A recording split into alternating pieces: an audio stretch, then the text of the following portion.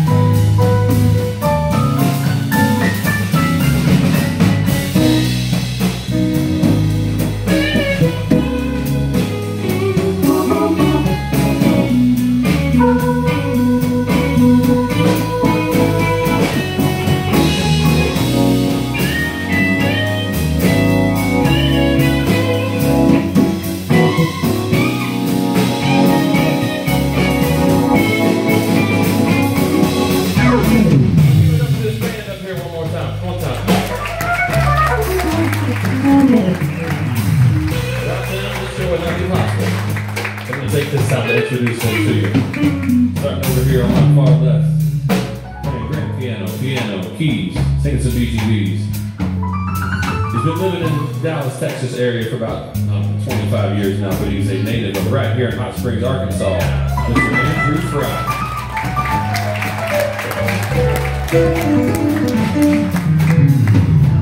Right here to my left. I say this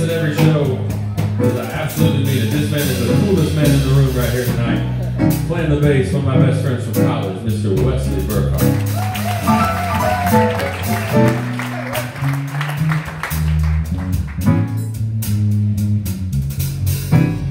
Hey. Hmm. Right here in the center. Another one of my best friends from college. Been playing drums with me on and off for, gosh, I don't know, 15 years, 10, 15 years, something like that. Another Arkansas native on the